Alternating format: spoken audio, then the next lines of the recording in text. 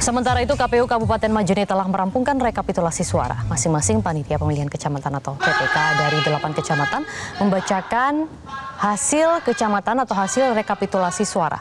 Seluruh jenis pemilihan mulai dari pemilihan presiden dan wakil presiden, DPD RI, DPR RI, DPRD provinsi dan DPRD kabupaten telah melalui proses rekapitulasi.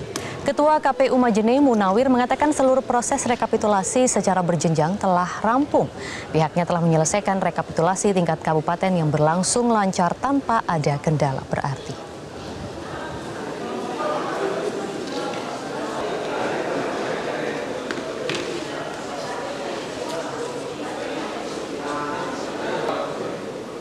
Total seluruh suara sah dan tidak 11.700. semua data-data pemilih atau langsung ke hasil saja mengingat waktu yang tadi juga kan sudah cukup lama. Bagaimana teman-teman saksi langsung ke hasil saja. Jelajahi cara baru mendapatkan informasi. Download Metro TV Extend sekarang.